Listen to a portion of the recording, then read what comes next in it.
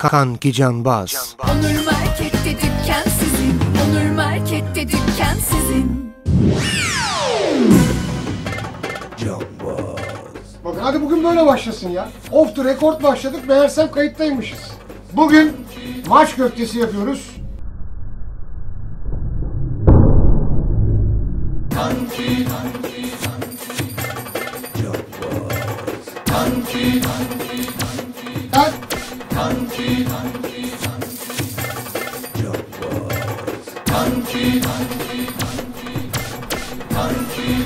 Öpüyorum.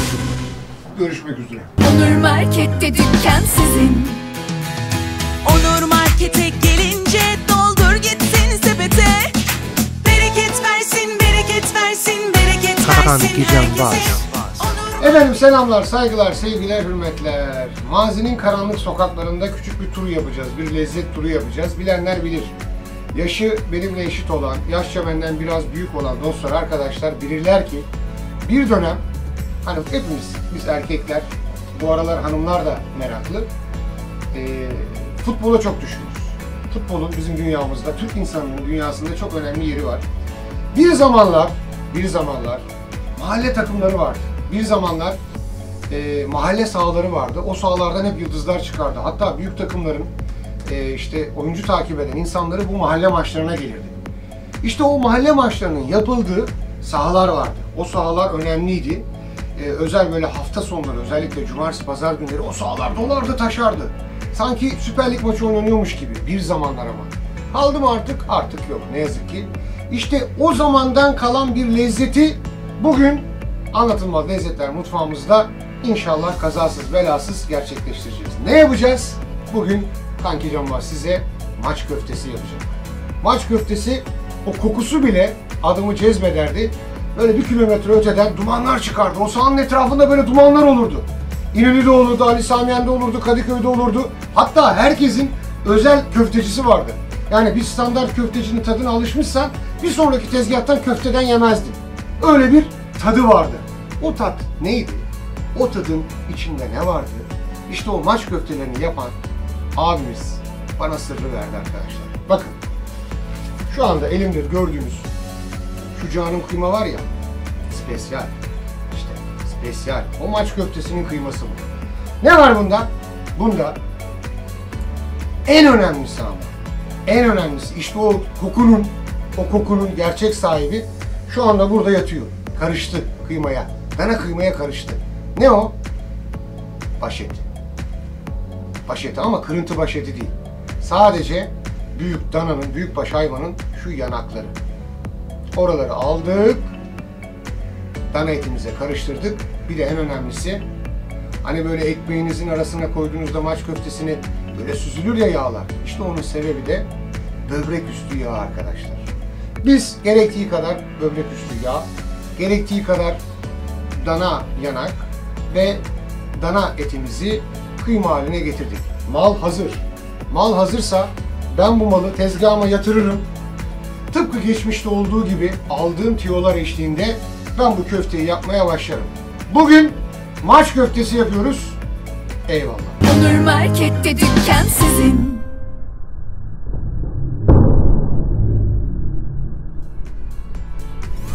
Efendim kıymamızı tahtamıza yatırdık. Karpı yaktık. Karp, barbekümüz, ızgaramız hazır. Ve kanki cambaz köftesini yoğurmaya başlıyor. Öncelikle şöyle bir aralayalım. Evet.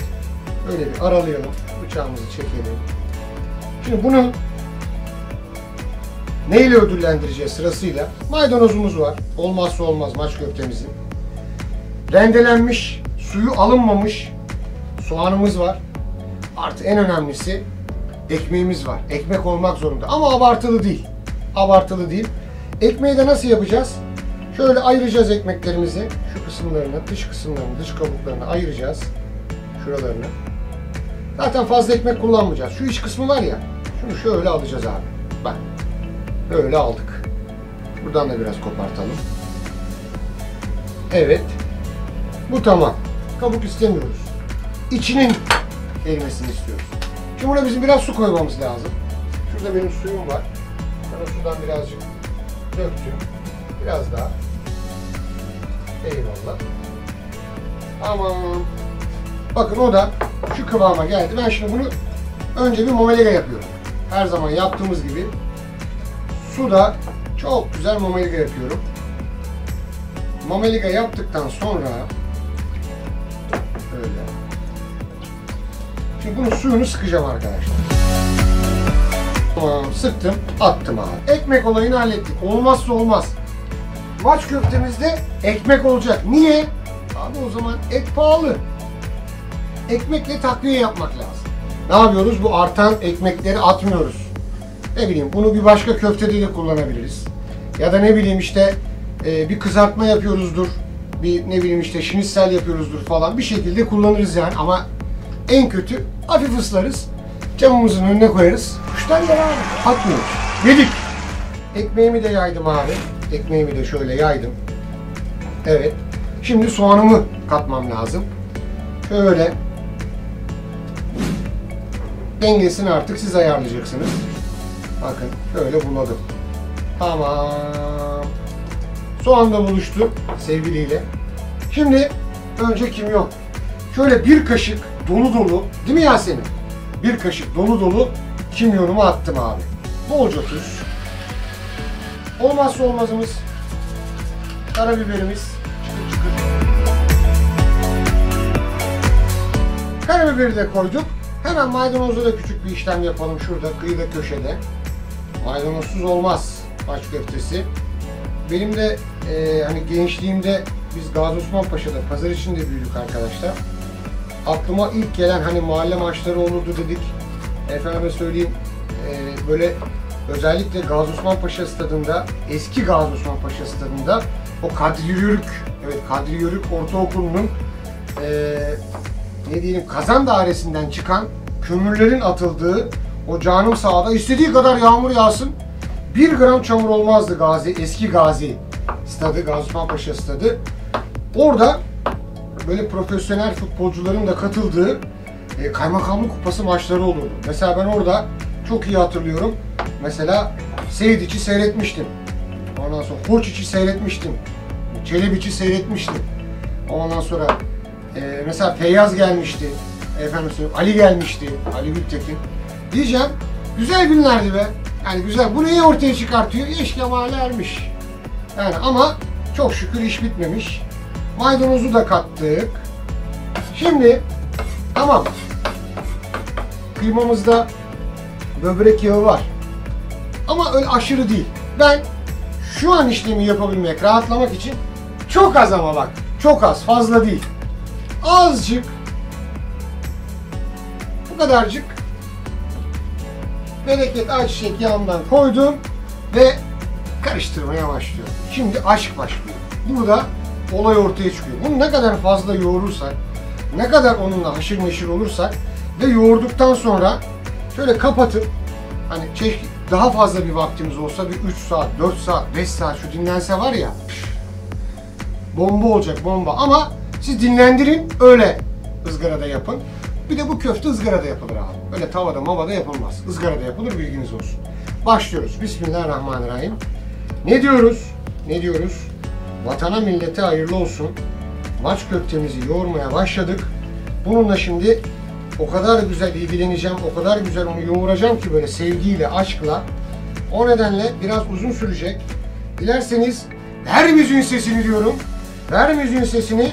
Kanki Canbaz biraz şov yapsın bakalım köftesiyle.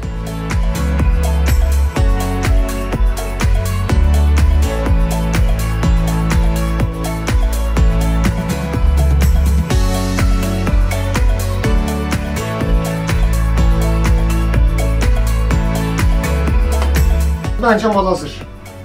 Mal hazır. Şimdi ben bunu arkadaşlarım, sevgili kardeşlerim. Tamam. Şimdi ben malı, evet ben malı biraz dinlendireceğim arkadaşlar. Şunu alayım abi. Şöyle. Hop. Agacım, sen şimdi dolapta biraz dinlen. Bana müsaade et. Ben gideyim bir karpı karıştırayım, bir alevlendireyim onu azıcık. Ondan sonra karpın başında seni işin özel kısmı bunu hazırlayıp böyle tane tane hazırlayıp ızgaraya atarsanız yine anlam olmaz. Yine maç köftesi olmaz. Bu harçtan alıp şeklini verip tek ızgaraya atman lazım. İşte o zaman maç köftesi oluyor. Bilmem anlatabildim mi? Ben bunu dolaba koyuyorum.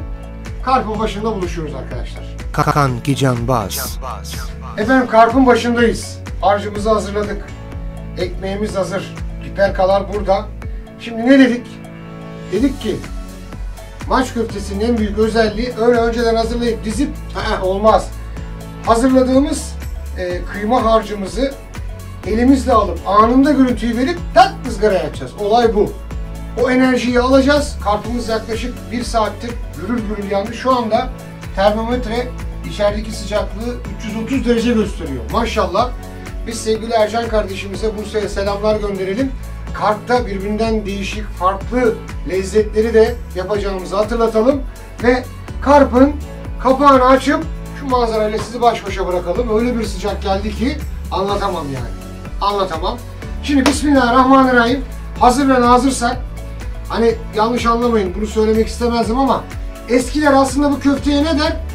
Der. Ama ben bunu demeyeceğim. Dememem lazım. Ama öyle derler. Ama ben onun yerine ne yapacağım? Elimi suya bandıracağım. Şöyle. Bakın şöyle. Olay bu. Bunu yapacağım. Suya bandırdım. Tak aldım. Aldım. Ne yaptım? Şöyle bir 1, 2, 3, 4, 5, 6, 7, 8, 9, 10. Mal burada. Mal burada. İki parmak. Çok önemli. Tak. Bastım. Şekil bu. Olay bu kadar basit. Kopardım. Hadi Bismillahirrahmanirrahim. Tasırtılar başladı. Bu köftenin kuralı 6 tane koymamız lazım. 6'dan fazla köfte istiyorsanız bir buçuk parası vermeniz lazım. Biz bir ekmeğin içerisine 6 köfte attırdık. Soğan bol, yeşillik bol, fakirlik hep söylüyorum yani. Efendim 6 adet köftemi yapıyorum. 6 adet köftemi yapıyorum. Hemen kartla buluşturuyorum dostlar arkadaşlar. Olay şu. Aynen incecik bakın. Şıkır şıkır. Evet. Devam ediyorum. Şekil belli. Yuvarlıyorum. Hafif bir bastırıyorum. Mal burada. Bastım. Şöyle bir doku yarattım. Aldım. Attım. Ben şimdi karpın kapağını kapatıyorum. Az sonra çevirdikten sonra ekmeğimi hazırlayacağım. Löp löp maç köftemi götüreceğim arkadaşlar. Bereket versin buraya kadar geldik. Bereket versin. Bereket versin, bereket versin, herkese. Hemen bir tur yapalım.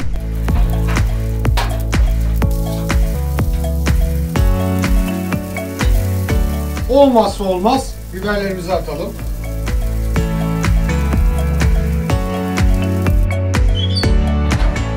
Ekmeği yaracağız, içini döşeceğiz. Onur Market'te dükkan sizin. Efendim ortalık toz duman oldu. Vatandaş, komşuların hepsi camlara çıktı. Bu koku nereden geliyor diye. İnan olsun karpımızı yaktık. Karp öyle bir pişirdi ki köftemizi. Maç köftemizi anlatamam. Buyurun. Şekil burada. Kanki cambaz hazır. Biberler hazır. Maç köftemiz hazır. Hemen hemen maç köftelerimi ekmeğimin arasına alıyorum böyle sulu sulu. Oh! Oh! Harika.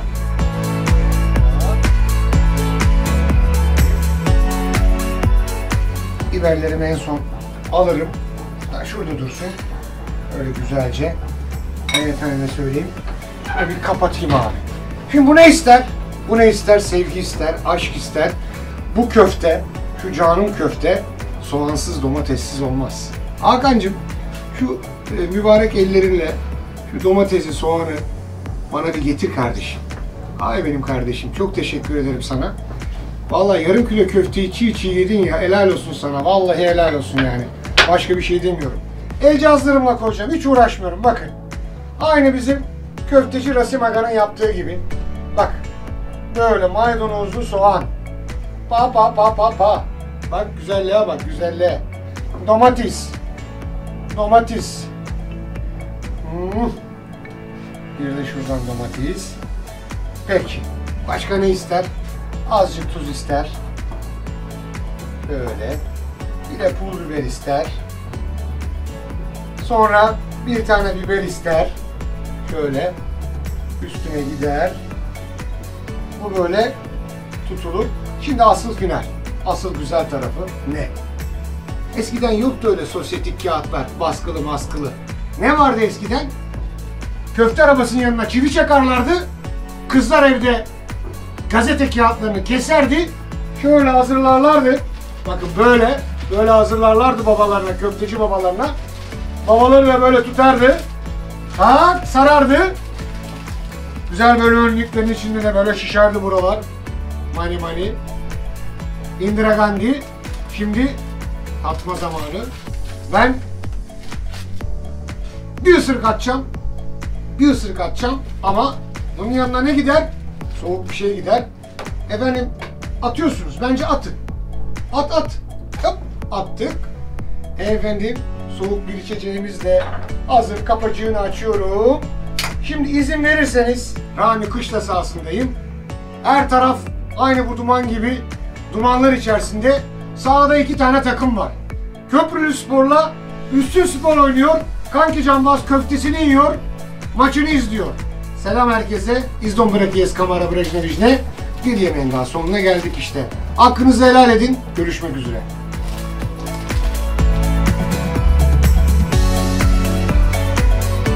Yok öyle bir şey. Böyle bir şey yok. Maç köftesi. Hakan üste para versen bu köfteyi sana vermem. Orada bir yarım ekmek var. Vallahi kendin pişir kendin ye. Görüşmek üzere.